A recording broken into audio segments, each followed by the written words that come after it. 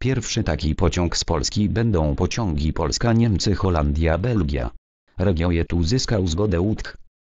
Na przyszłoroczne wakacje w Niemczech, Holandii czy Belgii będziemy mogli pojechać bezpośrednim, nocnym pociągiem z Warszawy.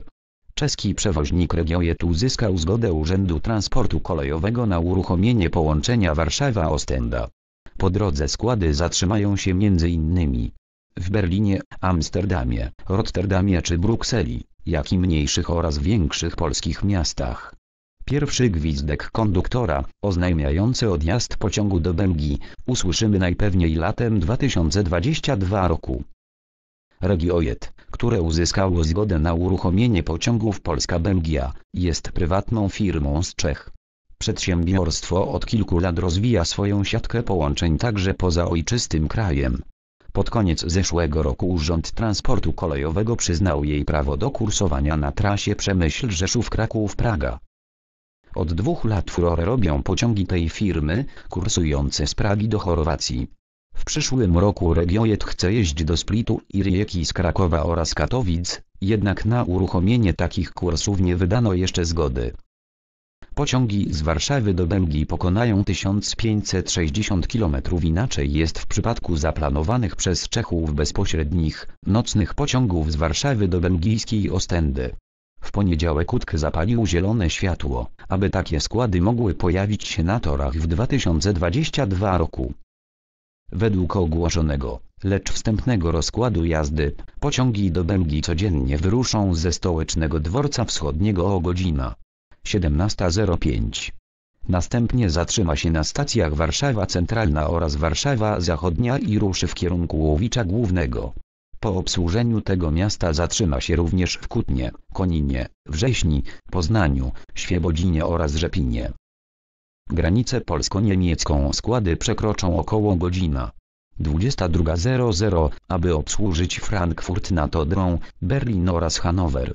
Kolejnym obsługiwanym krajem będzie Holandia, gdzie przewidziano postoje na stacjach Amsterdam Centralny Przyjazd 6.01, Schiphol, Haga, Rotterdam i Roosendaal.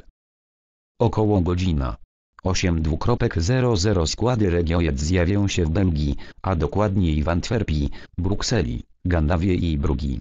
Pociągi zakończą bieg w Ostendzie nad Morzem Północnym tuż przed godzina 10 po pokonaniu 1560 km. Rozkład jazdy pociągów do Belgii. Pojadą w ciągu nocy trasa połączenia w stronę Polski będzie taka sama, jak na zachód Europy. Odjazd z Ostendy przewidziano na godzinę 18.04. Drzwi wagonów zamkną się w Amsterdamie o godzina 21.59, a odre pociągi przekroczą około godzina 7.30. Na stacji końcowej na warszawskiej Pradze zameldują się w południe. We wniosku do UTK czeski przewoźnik zastrzegł, że nie będzie sprzedawał biletów na relacjach krajowych, np.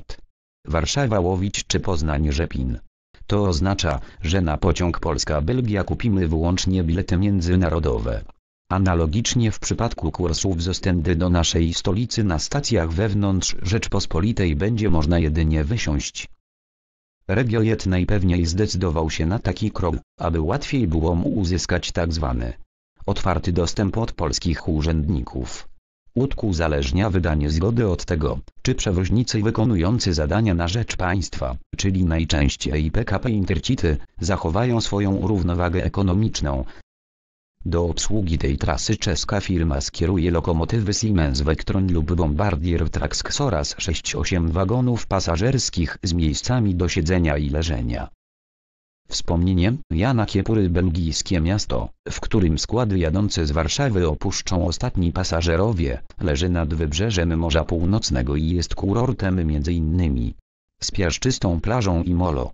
Przedstawiciel Regiojet Elmer Van Buren tłumaczył, że nieprzypadkowo wybrano Ostendę na końcową stację pociągów. Szukaliśmy lokalizacji najbliższej kanałowi La Manche.